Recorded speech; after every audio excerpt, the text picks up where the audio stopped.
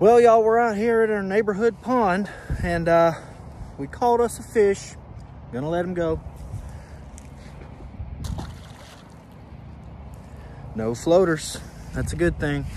Today we was using something a little simple because it's a uh, kind of a new pond. It ain't on my home turf, so I wanted to try something I knew would work. And I had on one of these smoking white or pearl looking yum dingers and it caught him. So I'm gonna get back here to fishing but uh, if you ain't seen us before, go ahead and think about following along on our journey as we identify things that'll help others in the outdoors while we learn it ourselves.